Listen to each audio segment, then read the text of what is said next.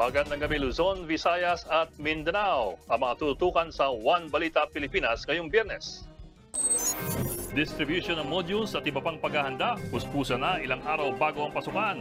Gano'n na nga ba kahanda ang bansa sa new normal sa edukasyon? Pilipinas, tanging bansa sa Southeast Asia na pasok sa top 20 countries na may pinakamaraming COVID-19 cases.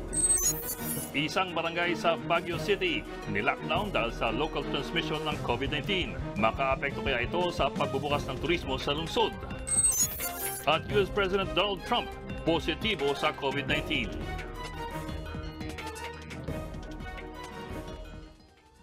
Magandang gabi.